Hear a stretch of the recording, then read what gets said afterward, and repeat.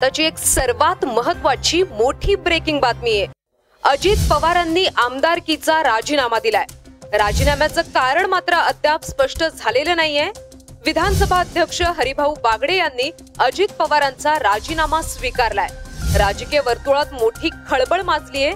पक्षातील अंतर्गत वादांमुळे राजीनामा दिल्याचा अंदाज आता व्यक्त केला जातोय.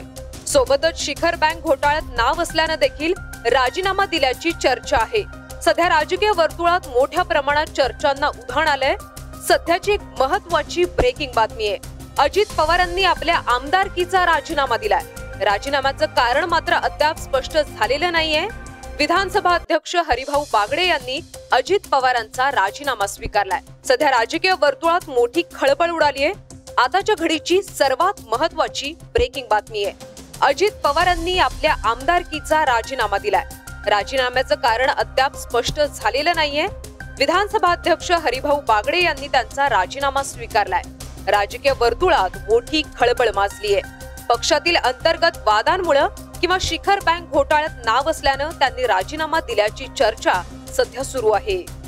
आज ईडी कार्यालयामध्ये शरद पवार जाणार असल्या असल्यामुळे संपूर्ण राज्यामध्ये एकच खळबळ माजली होती.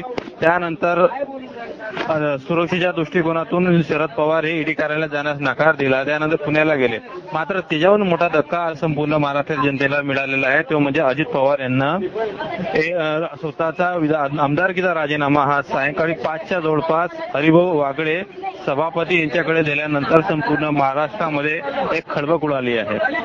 आपण आपल्याला माहितच आहे की नुकताच ईडी कडून राज्य शिखर बँकेच्या माध्यमातून अजितदादा पवार यांच्यावर पण ईडीने गुन्हे दाखल केलेले आहे. त्याचप्रमाणे अनेक मुद्द्यांवर भाजपकडून अजित पवार यांना भाजपला कोंडीत पकडल्या होतं. मात्र आज अचानक अजित पवार यांना आपला आमदारकीचा राजीनामा दिल्यामुळे संपूर्ण महाराष्ट्रामध्ये खळबळ माजली आहे.